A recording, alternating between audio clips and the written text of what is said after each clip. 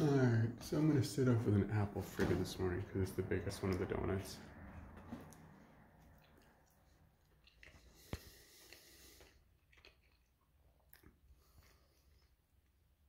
Just packed up the sleeping bag.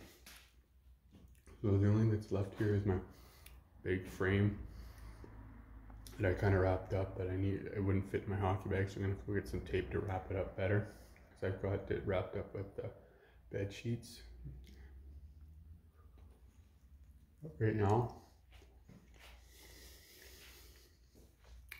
mm, a couple boxes left up there, and then the rest of the uh,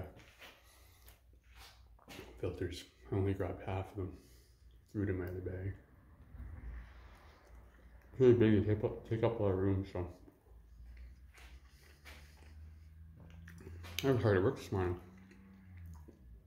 Already.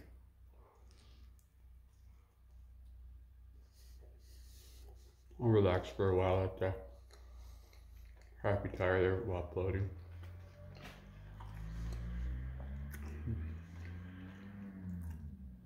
Basically be laying down on the sleeping bag for my bag. Be nice and comfy.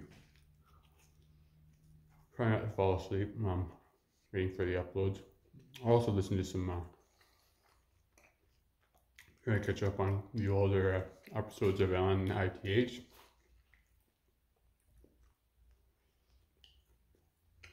Think one of them I just finished the other day's one. So rewatch that. Brutal. Mm. This world's crazy. Very sad. I recommend you look into Ali Carter. What an inspiration she is. Wow. She's lucky to be alive and she's just taking it one day at a time.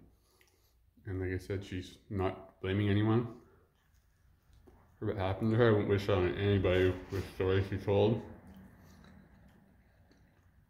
The elites are some sick ass people, man. Wow.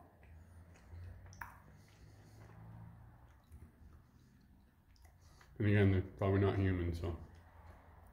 Not in the way of non swimmers and swimmers, human and inhuman, but another totally different level. Anyways, done my donut.